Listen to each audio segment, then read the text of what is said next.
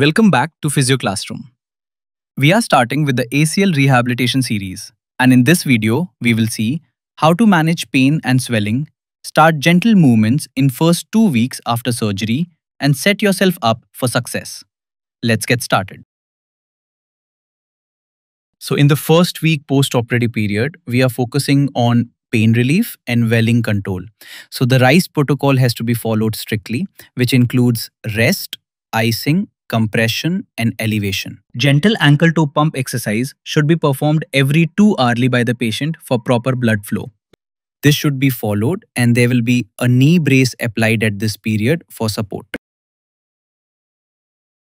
Next, we will begin with some early activation exercises and our target is the quadriceps muscles. So we are going to perform the isometric quadriceps in close chain first. Patient's distal end can be fixed on wall as well and a thick pillow should be used under knee for better initial activation. This exercise should be performed 10 to 15 times and 3 sets. Our target in this phase 1 is to get quadriceps back in control because this group of muscle very very important to support the new ACL graft. To progress, we can decrease the height of pillow or towel and then continue the exercise in the short range.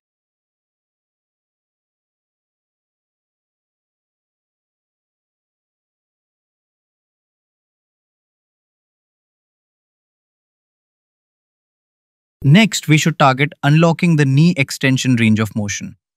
For this, we can simply keep the leg straight, supported on the chair. This position is itself enough in the starting stage to help tackle the extension lag.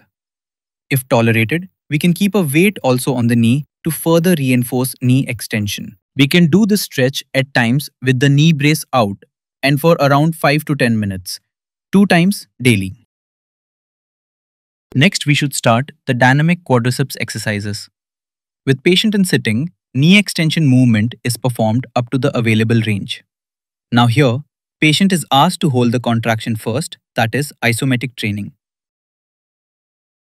Then to lower the leg slowly, which is eccentric training,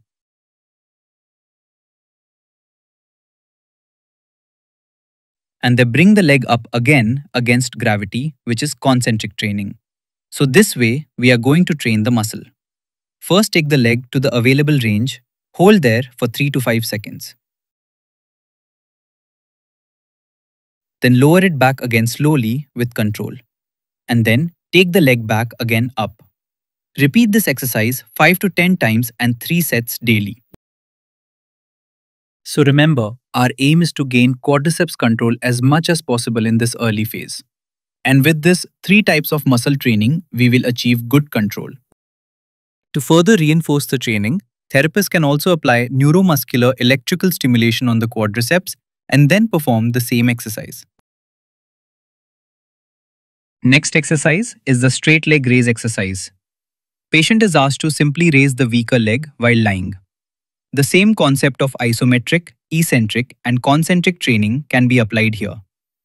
The command given is raise the leg and hold for 3 to 5 seconds.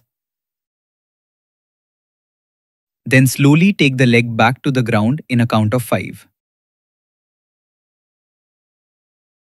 And now raise the leg up again and try to take it more this time.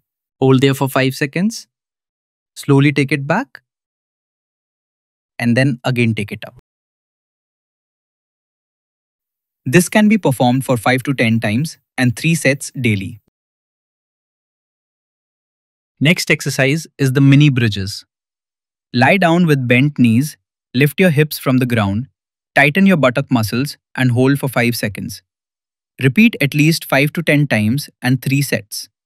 This ensures the glutes activation which will be required during the weight bearing phase.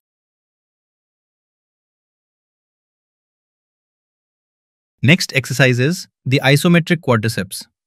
In this, we are targeting the quadriceps activation only isometrically. Isometric firing alone at this stage is useful for regaining proprioception and decreasing pain in the knee. And to your surprise, evidence has stated that the isometric knee strengthening, particularly in the knee flexion range 90 to 60 degrees, puts zero load on ACL ligament.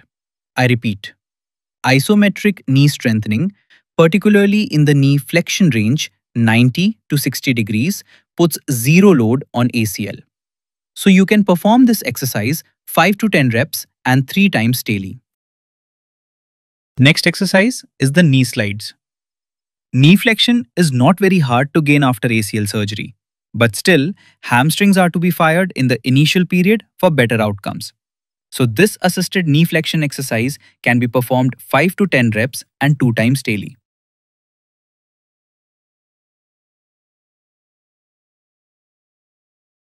Patient can also be asked to use towel assistance to further reinforce the knee flexion range. Now these are some do's and don'ts that are usually prescribed to the patient in this early phase. And the whole point of this early phase is that early activation is important. Icing should be done several times, and proper use of knee brace and crutches during walking are emphasized. With this program, our goal is to boost graft healing and prevent complications. So this was all about this phase 1 for pain relief, swelling control and early activation. Upcoming, we will talk about the phase 2 in ACL rehabilitation program. Thanks for watching.